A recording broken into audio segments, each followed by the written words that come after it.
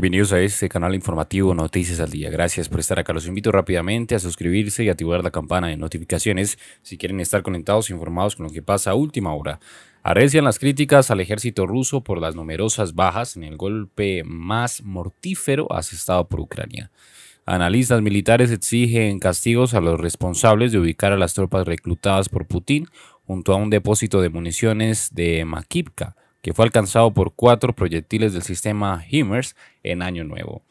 Recuerde dejar un comentario en este video y un me gusta también para apoyarnos. Muchísimas gracias. Nacionalistas y algunos legisladores rusos han exigido el castigo de mandos militares a los que acusan de ignorar los peligros.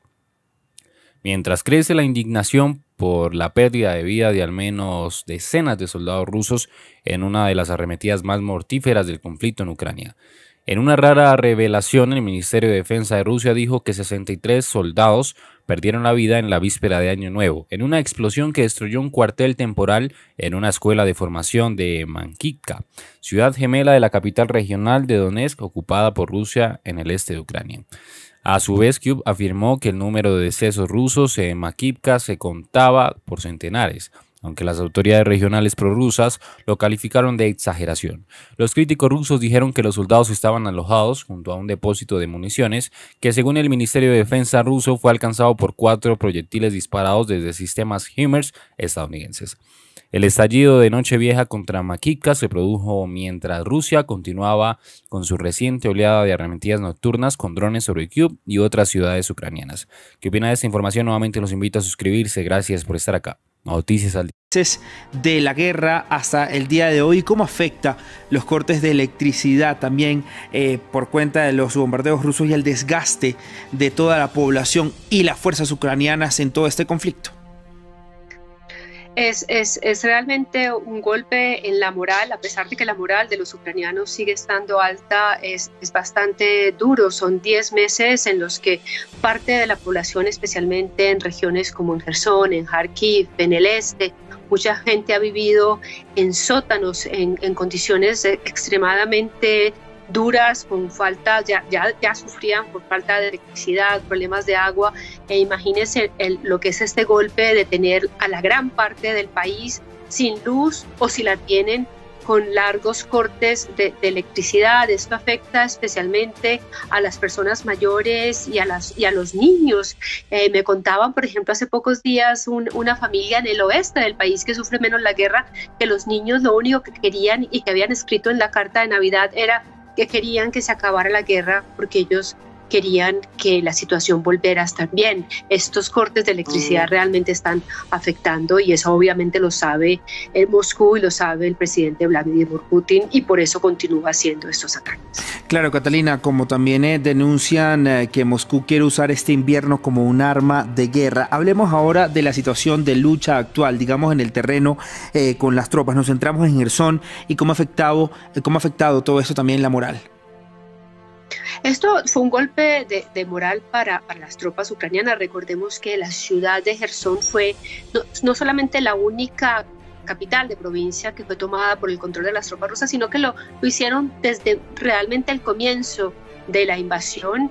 Eh, allí habían creado fortificaciones, allí se habían asentado, habían creado un gobierno local, inclusive llegaron a ser parte de ese referéndum que logremos, eh, recordemos que hicieron en su momento. Así que el haber retomado esta ciudad después de que la presión ucraniana hizo que las tropas rusas retrocedieran, pues fue un golpe de gran moral para todo el pueblo ucraniano después de también de haber recuperado grandes zonas en la provincia de, de Kharkiv, pero lo que viene ahora es ese azote constante contra la población que se quedó y que resistió en Gerson o que estaba pensando volver. Entonces, realmente lo, lo, que demuestra es que si bien Rusia no tiene el control, ellos están dispuestos a destruir y atacar todas aquellas ciudades que querían tener bajo su control, pero que no la tienen y que no lograron tenerla y que posiblemente ya no lo van a lograr.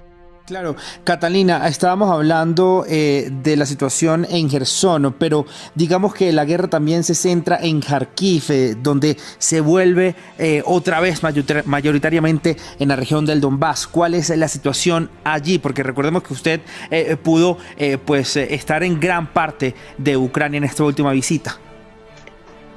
Sí, no solamente en esta visita, Raúl, de Kharkiv, de haber sido no solamente esa segunda ciudad de, Ucrania, que fue realmente intensamente atacada durante los primeros meses de guerra, las poblaciones aledañas, cómo la población sufrió, cómo fue atacada y cómo habla, vivían en esos sótanos de los que yo hablaba anteriormente, cómo la liberación de estas zonas le quitó presión a Kharkiv, volvió a traer la vida en esta zona, pero también en áreas del norte de la región de, del Donbass, especialmente en una ciudad que es bastante estratégica, que es la ciudad de Limán, en, el, que es el límite entre, entre Kharkiv y, el, y el Donbass, pero también la visitábamos hace pocos días y era impresionante no solamente el, el grado de destrucción de la ciudad, los pocos habitantes que quedan, una ciudad de como 40 mil habitantes, quedan 6 mil, sino el desgaste psicológico, físico de toda esta población, que realmente lo que nos muestra eh, eh, esas consecuencias de la guerra, si bien ellos se sienten felices de que han vuelto a recuperar eh, la ciudad y que están realmente en poder del control de las tropas ucranianas. Obviamente hay, quedan muchos edificios destruidos, hay mucho trabajo por hacer por la reconstrucción, pero no solamente física, sino moral y psicológica de la población y, y, bueno, lo que viene porque se nos viene un invierno muy duro. Durante los días que yo estuve en el Donbass estábamos a menos 10 grados centígrados con mucho viento.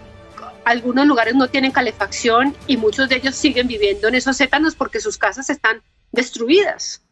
Catalina, eh, ¿cuál es la situación también? Porque en estos últimos días hemos hablado de la ciudad de Bakhmut. ¿Por qué la importancia y por qué esta ciudad también? Hemos hecho también un recorrido como estas ciudades importantes en esta guerra y Bakhmut es una de ellas. Sí, en Bakhmut se ha concentrado, y es bien interesante esto, Raúl, porque en Bakhmut se ha concentrado la lucha en el Donbass, especialmente desde que tomaron esas dos ciudades de Severodonetsk y Lysychansk en la provincia de Luhansk, después de que miles de personas murieron tanto de uno como de otro bando. Esto fue sucedió en junio.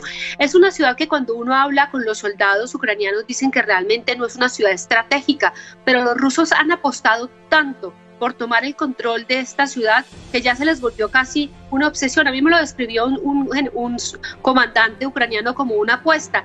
Han apostado y han puesto tantos hombres allí que ahora es parte de, su orgullo conquistarla, pero posiblemente no lo, no lo van a tomar porque ahí también están muy bien ubicadas las, las tropas ucranianas, a pesar de que es una ciudad que bombardean todo el tiempo, constantemente, sin parar. Eh, las tropas que están en estas posiciones o están en trincheras, en lugares estratégicos o están en sótanos, es una situación muy complicada y esto también se extiende en todo aquel frente del sur del Donbass donde estaba la línea divisoria con la, que llamaron en su momento desde 2014 esa República Independiente del Donetsk. Ahí habían unos frentes de batalla muy establecidos desde, desde ese año y que obviamente empezaron a moverse desde la invasión el, el 24 de febrero, pero más en estas últimas semanas donde realmente ese toda esa batalla, todo ese poderío de las fuerzas rusas, y realmente la tienen porque no logran avanzar tanto, están centradas allí. Así que Bakhmut seguirá siendo el centro y obviamente lo estamos viendo expandido por toda esa línea del Donbass, donde se seguirá eh, viendo la guerra en mayor intensidad. Catalina, estabas hablando, digamos, también eh, de estos territorios donde las tropas rusas todavía tienen su influencia y al principio de nuestra conversación también eh, lo estábamos hablando, estos territorios, estos cuatro territorios ucranianos que Rusia se anexionó ilegalmente por medio de estos referendos que no tienen ningún tipo de reconocimiento, digamos, ni dentro de Ucrania ni eh, de la comunidad internacional. ¿Cuál es la situación de estas ah, regiones, Catalina?